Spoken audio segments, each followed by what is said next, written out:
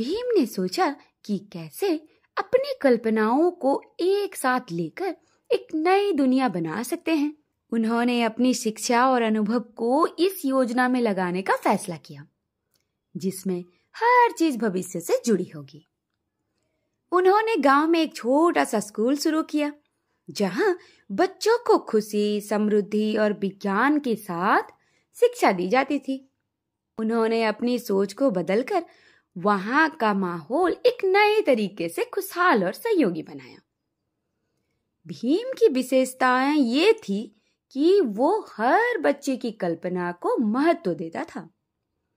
उन्होंने बच्चों को उनके सपनों को पूरा करने के लिए प्रोत्साहित किया और सभी बच्चों को अपने सपने साकार करने का मौका दिया, जिससे हर बच्चा खुद को कुछ अच्छा करने के काबिल बन सके। समय बीतता गया और भीम के स्कूल का नाम धीरे धीरे बड़ा होता गया। उन्होंने इसे सपनों का स्कूल नाम दे दिया। यहाँ बच्चे सपनों को साकार करने के लिए एक जगह पाते थे। उस स्कूल में सब कुछ सपनों जैसा था। वो बच्चे अपनी कल्पना से भरी कोई भी चीज़ बना सकते